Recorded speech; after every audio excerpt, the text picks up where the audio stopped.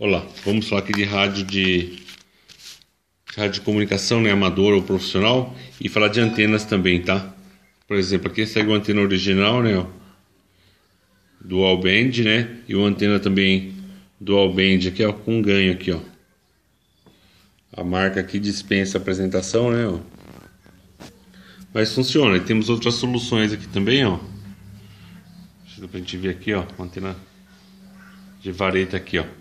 Só que essa daqui ela só vai operar perfeitamente né, ou em VHF ou em UHF. Ela não é dual band ainda. Nós estamos para lançar uma antena versão dual band, né?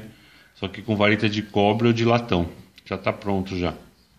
Você está pensando vai fazer ou não. Tá? Você vê que o radinho fica aqui, ó, com o adaptador, né? SMA. E nós vendemos também para uso fixo também, tá? Se desejar, tá bom, gente? E o comum é essa daqui, a Nagoya, né? O outro similar à Nagoya também, mas muito boa. É isso, gente. Espero que tenha ajudado aí, tá? Vi que tem várias opções aí para aumentar a cobertura aí, tá? Ó, aqui uma antena original, ó. Vou deixar aqui do ladinho que você vai te ver aqui, ó. E uma Nagoya do lado aqui. E outra com uma, uma com vareta, ó. Isso aqui é bem gigante. Tá? Ela vai com adaptador aqui, só funciona nesse rádio, essas versões com teclado, tá? Programáveis manualmente aqui ou via software. Essa daqui não por causa do botão aqui dos dos canais aqui não vai, ó, não permite encaixar adaptador. Aí você compra uma antena com a base magnética, né? E nós trocamos o conector aqui para um conector SMA direto, é o seguinte esse espaço lateral aqui. Depois a gente vai falar do kit magnético aqui, tá bom, gente? Valeu aí, um abraço a todos aí, espero que tenham gostado do vídeo aí, ó.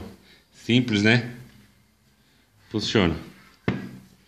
Deixa eu ter o radinho ligado aqui, só que tá com volume baixo aqui. Esse radinho tá até legal, que ele tem até um o FMzinho aqui, ó. Congresso necessárias para virar lei. A PEC 241 muda o texto da Constituição, estabelecendo que nenhuma despesa pública pode aumentar acima da inflação. Isso inclui todos os gastos públicos, inclusive saúde, educação, obras públicas e salários de servidores, por exemplo. Estão fora desse limite alguns tipos de despesas, como transferências do governo federal para estados e municípios. E é isso aí. Um abraço a todos aí, até a próxima aí, valeu aí. Espero que tenham gostado do vídeo aí das opções de antenas, tá? A gente vai colocar um link aqui embaixo aqui para ver onde comprar aqui. Vendemos com nota fiscal, tá, gente? Garantia, tá? E apoio também, se caso precisar de alguma decisão aí. Falou? Um abraço a todos aí. Até a próxima aí, valeu.